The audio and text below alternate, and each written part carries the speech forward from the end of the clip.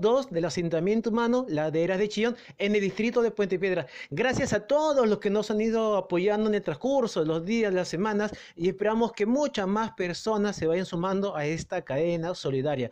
No se olviden seguir cuidándose y seguir apoyando al prójimo. Ah, Nada, te limpia. señorita. Agarra de abajo, por favor.